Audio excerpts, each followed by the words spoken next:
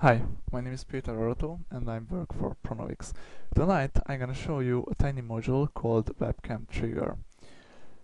Uh, just to know what is it, uh, I will show you what it does and then I will describe uh, how you can set up it on your page. This is, as you can see, a general Drupal 6 page and uh, there isn't any login form or registration link but there is a webcam login link. If you click on it uh, you get the webcams stream and nothing happens. Hi it's me. But I have a small page with the Druplicon icon and if you show it to the camera oh yeah something happened and ooh I just logged in with a guest account and redirected to this certain node. What's happened?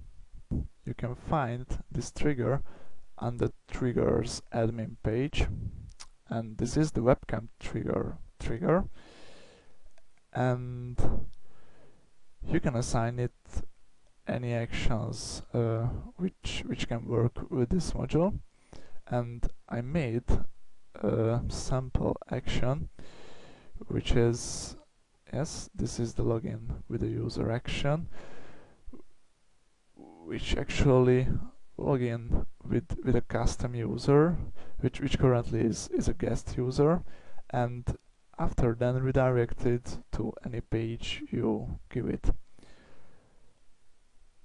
If you want to enable it to for example the anonymous user you have to give the appropriate access on the permission page and you can find the webcam trigger access and, and I just checked the permission for the anonymous user. And I made a menu item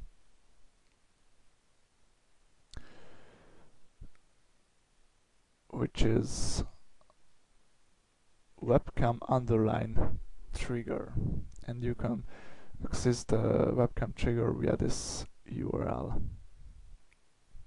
Okay, I guess that's it.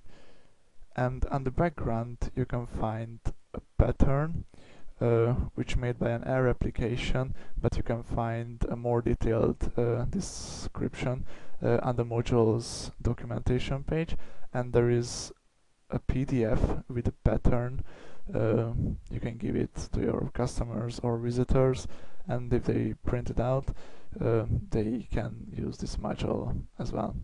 Have a good night. Hi.